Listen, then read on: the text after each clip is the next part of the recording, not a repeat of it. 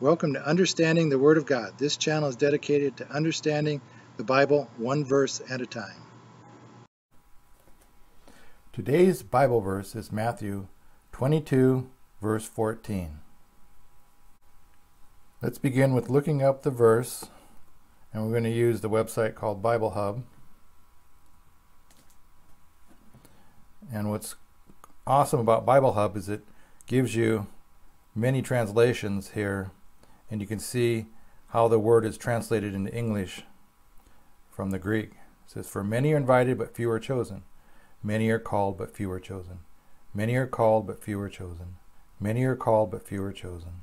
Many are called. So there's a lot of many are called. It's like the second half of the verse is few are chosen. It seems like it's always translated chosen. But there is a couple times where called is translated as invited. We are uh, we're used to the word invited. I expect back in the in the days they referred to it as calling back when the Bible was first translated into English. So let's see what this verse says in context.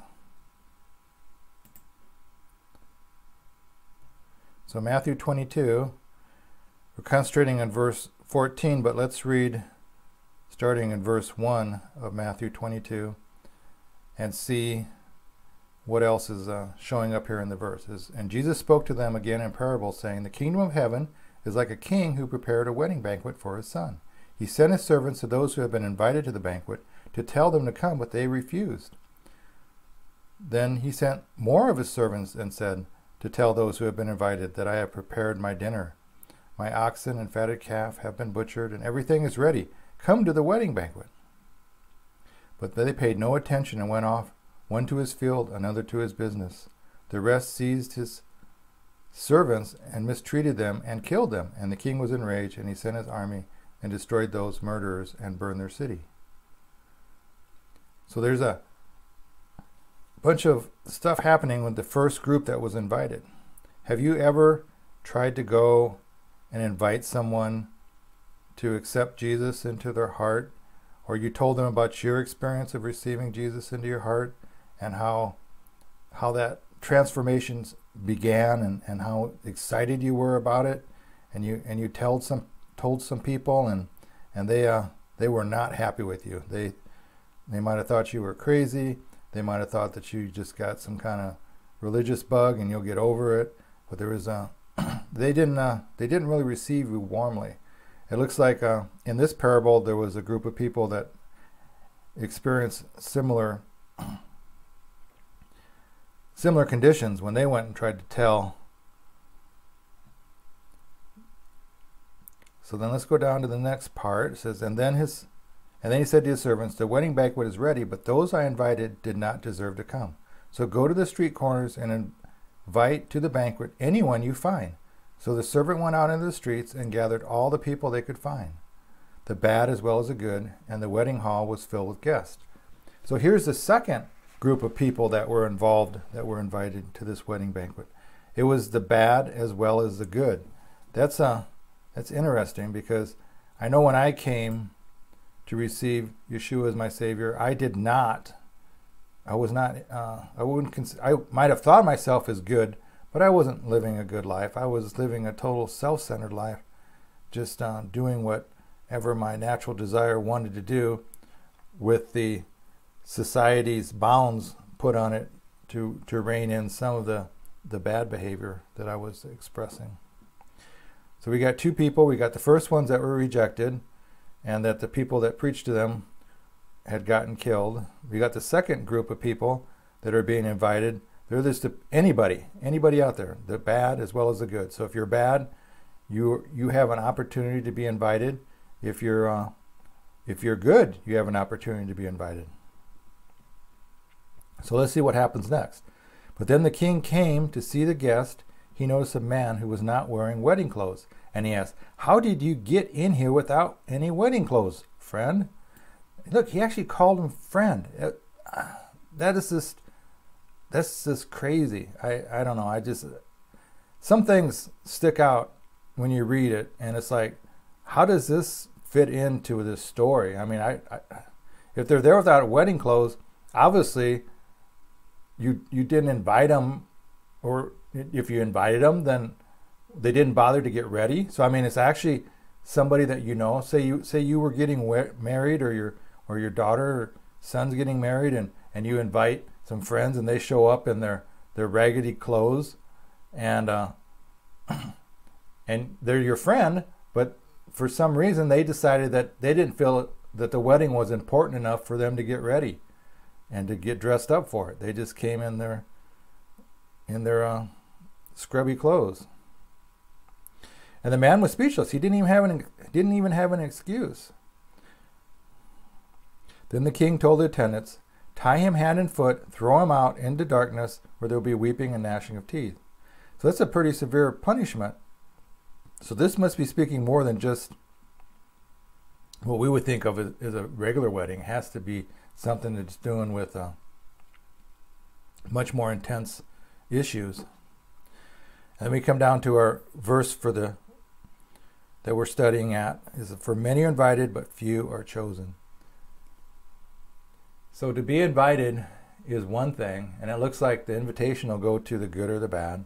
But there's also something that's important is that we need to get clothed properly.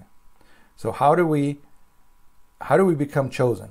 Obviously being invited is not difficult at all. I mean it's it's it's like, hey man, anybody, come on over. No problem. But being chosen is where the challenge comes in. So in my Christianity, in my walk with God, how in the world am I going to get chosen? How am I going to be part of the few?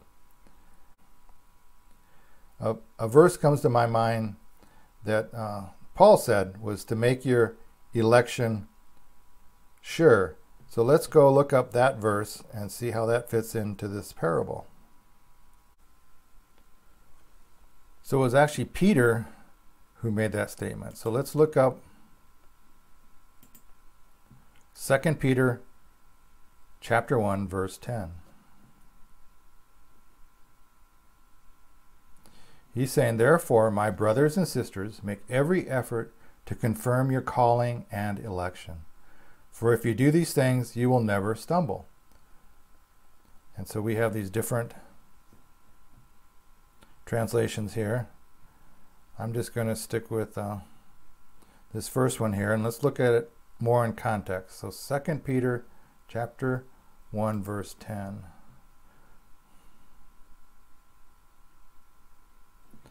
So let's start at verse 3 here. Confirm one's calling and election. It says, His divine power has given us everything we need for a godly life through our knowledge of Him who called us by His own glory and goodness. Though these have been given us His very great and precious promises, so that through them you may participate in the divine nature, having escaped the corruption that is in the world caused by evil desires. So, this first paragraph here is addressing that it's His divine power that He has given us everything we need so that we may escape the corruption in the world caused by evil desires. So maybe that servant that was in the wedding banquet that wasn't dressed, he didn't bother to deal with the corruption in his life. He didn't he didn't choose to trust God and, and trust in his divine power, giving him everything he needed through our knowledge of Jesus, who called us by his own glory and goodness. So he's given us very great and precious promises so that through them we may participate in the divine nature so he apparently did not dress himself in the divine nature. That is something that, from what I understand from the scriptures, is something that doesn't happen when you receive the invitation. In other words, you're you're called and you receive the invitation. It's like this is fantastic. I'm going to get to go to heaven. My my life is going to be now perfect.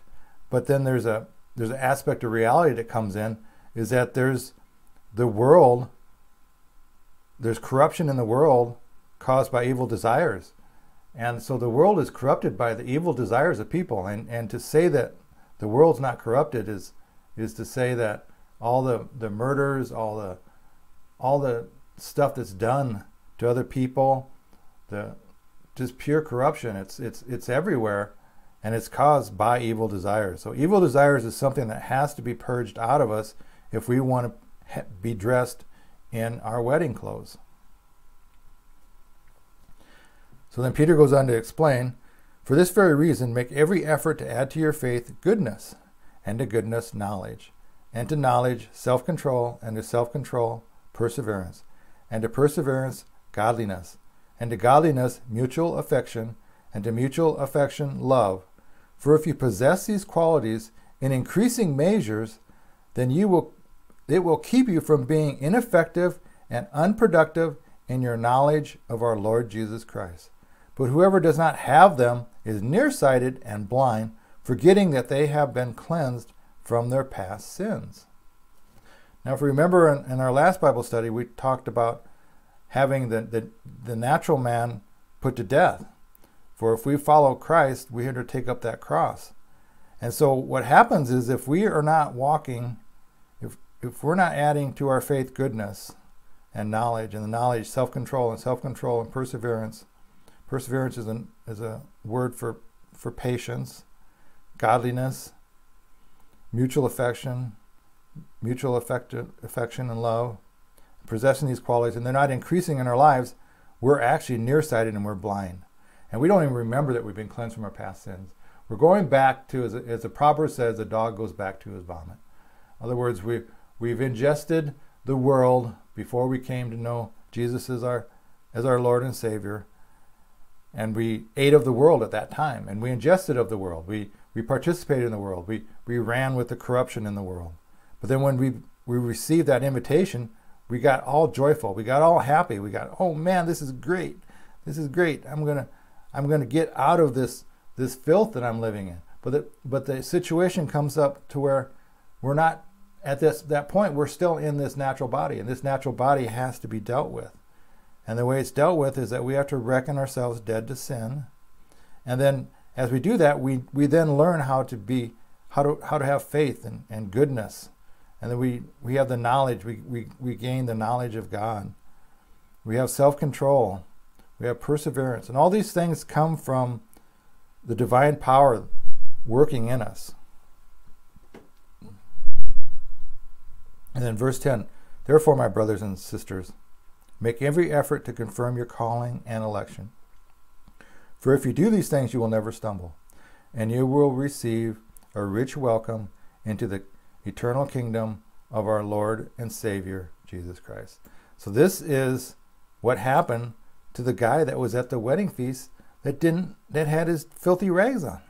He he was not received. And here it says if we make every effort to do these things, then we're going to make our calling and our election sure.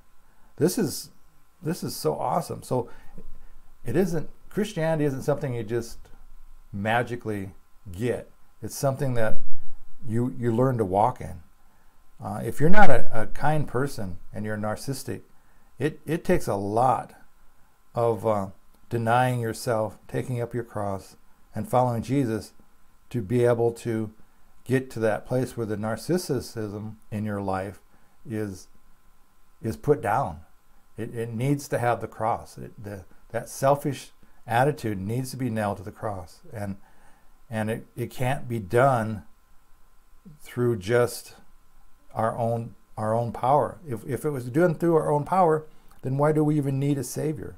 We need a savior because we realize that the sin in our life we're incapable of hitting the target. We're incapable of, of doing that, which is right.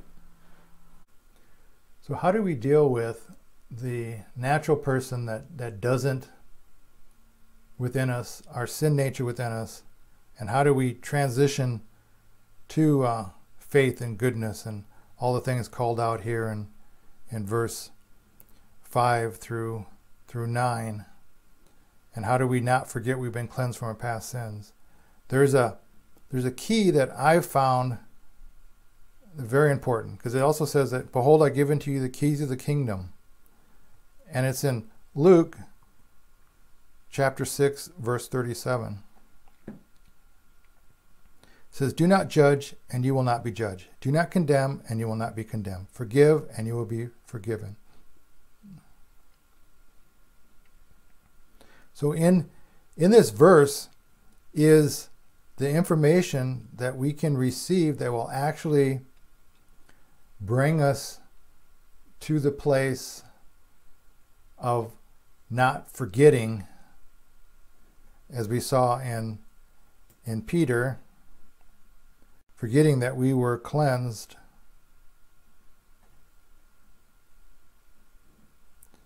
Forgetting that they have been cleansed from their past sins if we have unforgiveness in us if we're holding anything against anybody for any reason we will be nearsighted and blind there is there is no way to get past this and granted there are some things that are very difficult to forgive. Uh, when our personal body has been violated through a form of abuse, is is is tremendously devastating, and it. But it's the if we hold on to that bitterness, if we if we do not forgive, it'll turn into bitterness, and when bitterness grows within us, we become more and more despondent. We become more and more attacking. Uh, I, before I became a Christian, I didn't know how to deal with people that uh, offended me. So I just got angry and created a, a list in my head of all the things where I've been wronged. And it, it took me a long time to walk through this verse, but it is hugely important. And if we read the whole story leading up to verse 37,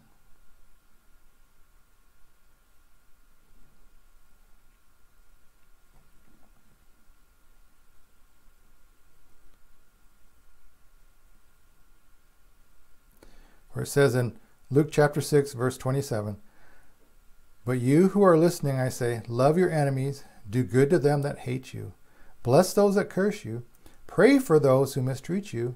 If someone slaps you on one cheek, turn to them the other one also. If someone takes your coat, do not withhold your shirt from them. Give to them whoever asks you. And if anyone takes what belongs to you, do not demand it back. Do to others as you would have them do to you. This was spoken a lot to in the days of, of uh, the Roman rule to the Jewish people. They, if a soldier came by and he wanted something, he just he just took it, and uh, so there was a they were under a, a, heavy abuse, a heavy burden by a by a very demonstrative government that just uh, just abused them to no end. Let's go down to verse 32. If you love those who love you, what credit is that to you? Even sinners love those who love them. But if you do good to those who do good to you, what credit is that to you? Even sinners do that. And if you lend to those to whom you expect repayment, what credit is that to you? Even sinners lend to sinners, expecting to be repaid in full. But love your enemies, do good to them, lend to them without expecting to get anything back. Then your reward will be great, and you will be children of the Most High, because He is kind to the ungrateful and to the wicked. Be merciful just as your Father is merciful. So this brings us down to the point is who is our Father? Is our Father the world? It says that the world and everything in it belongs to the, the prince of the power of the air. It's it's um, Lucifer, the Satan, the fallen one, the the one who is the deceiver of the nations, the one who brings blindness to people and and uh, just constantly reminds them of their sins. Is that is that our Father, or is our Father in heaven, the merciful one? Do we do we have a picture of a Father that is merciful? If we did not have a Father growing up, then this verse doesn't can't draw a picture for us, and it and it's a process to get through that point to realize that, that God in heaven is super merciful, super kind. He's, he's all the things that we needed to experience as a, as a child growing up from our natural father that that we may not have. And without that, we don't see that picture of him being that way. We think the father is either absent, or in the case of my father, he wasn't there because uh, he had passed away. And so there's there's things that affect us in our picture of our of the Father, the Father in heaven. He and it, that's that's probably something uh, something we need to look into next in the in our next Bible study is saying what is the Father in heaven like? Who is he like? What how can how can we understand him? Because without without that relationship with your natural father and to see that your natural father cares for you. I mean, from my understanding, at least for the few years I had my father, it seemed like he was very caring. He was very loving. He was uh, he wondered what was best for me. He was constantly interested in, in my concern. In other words, if I wanted something bad for me, he would say, "No, turn this way." If I wanted something good for me, then he would encourage me to walk in that path. Uh, we need to have a, a, the proper understanding and proper picture of, of what Father in, in heaven is like. Because if we uh, are we, if we're holding on to uh, unforgiveness, if we're if we're thinking him as someone that is uh, is very judgmental or someone that is uh, is is like the negative aspects of the father we had. I, have uh, I've heard people had fathers that that called them names and insulted them and and referred to them very very poorly and and it and they didn't they didn't express to them any kindness or goodness and so that the picture of the father has been uh, damaged significantly so that's that's a process of forgiving if we can forgive those that have abused us and and have Jesus come in and and take that pain away because he doesn't expect us to forgive based on our own willpower. He says he's given us the keys of the kingdom. In other words, he's given us the power through him. If we ask him, if I say, Father in heaven, I've been hurt, I've been offended, this person injured me, please show me, first of all, how can I forgive them? And secondly, is you told me that I need to forgive them. Please show me how to forgive them. Give me that Give me a picture. Give me give me a, a realization that I that I can I can see and that I can get free from this these emotions that flood me and it feels like I'm getting electrocuted with pain whenever I think about those events that caused me so much emotional damage. Uh, please, Father in heaven, show me, free me, cry out, cry out to Him, or cry out to Jesus. If, if you if you can't see the Father, can you see Jesus? Can you see Jesus? He he, he personified the love of the Father. He says, He who has seen me has seen the Father. Do we want to see the Father? We can look at what Jesus did. He says he looked upon the people and he had compassion upon them. Uh, Jesus was just walked out the compassion side of God for everyone. And uh, so that that is another picture of the Father being so compassionate. So as we go forward, this is uh, something that we have to learn how to do. This is a, a huge commandment. Do not judge, and you will not be judged. Do not condemn, you not be condemned. And our society, the, the naturalness in our society has become very jaded.